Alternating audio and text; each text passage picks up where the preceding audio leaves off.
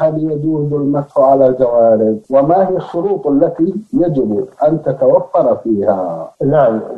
يجوز المسح على الجوارب بشرط أن تكون ساترة بمعنى أن تكون ضافية على الكعبين وما تحتهما وأن تكون صفيقة يعني كثيفة غير شفافة وغير مخرقة فروقا كبيرة نعم. بل تكون ساترة لما وراءها في يعني هذه الحالة آه، يجوز له المسح عليها لأن النبي صلى الله عليه وسلم مسح على الجوربين والنعلين وهذا مذهب الإمام أحمد رحمه الله نعم جزاكم الله خيرا